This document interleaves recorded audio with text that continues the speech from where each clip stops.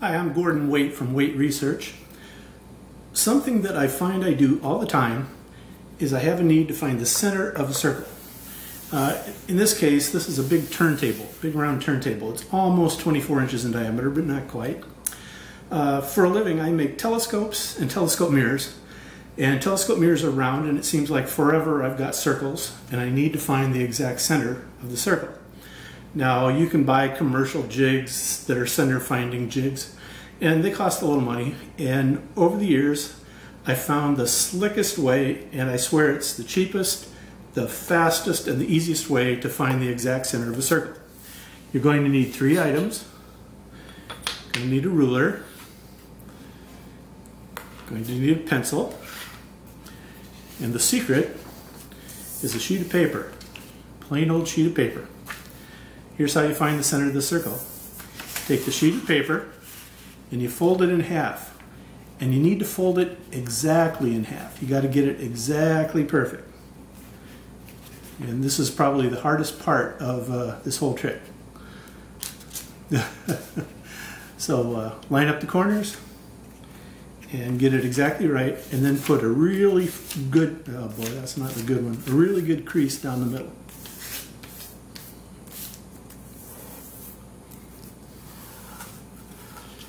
Make it nice and sharp so I've got a perfect crease along the center. Then we open that up. That's our main tool. Now to show you what I'm going to use this for, I actually have this pulley wheel that I need to mount in the center of the circle. This is a big uh, inch and a half thick turntable. Uh, so I need to find the exact center so that I can get this thing mounted. So I take my piece of paper here with this crease on it. And what you do is to take the piece of paper and line it up so that the corners are on the exact edge of the circle. And this is really easy because the corners of the paper are really sharp and perfect. The corner and the edge of the circle is really sharp and perfect. So I hold this down and now you've got the crease of the paper here. So you use the pencil and you make a mark exactly at the bottom of that crease and exactly at the top of the crease. Move that aside. You take your ruler, line up those two marks. Again, the closer you can do this more accurately, the more uh, accuracy you'll have in finding the center of the circle. And you draw a little line there right near the center. So I now have a line. Now I rotate my big circle here about 120 degrees or so, and I do the operation again. And it doesn't have to be precise uh, in how I turned it. Any change of angle will do it. I like to do it about 120 degrees. Line up those corners on the circle, mark the bottom of the crease, mark the top of the crease, take the ruler,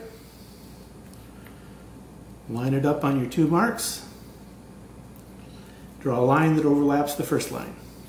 Now that should be pretty close to the center, but we're going to make sure, so we'll rotate it about 120 degrees one more time, put the paper down, Line up the right corner, line up the left corner with the edge of the circle.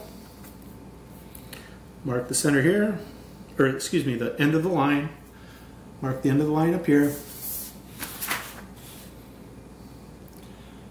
Get the ruler out, connect up the two dots.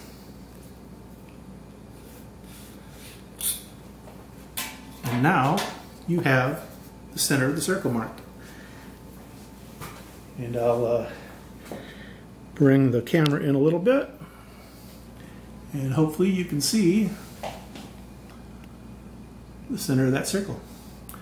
So that has to be the quickest, easiest, and cheapest way that you've ever seen to find the center of a circle.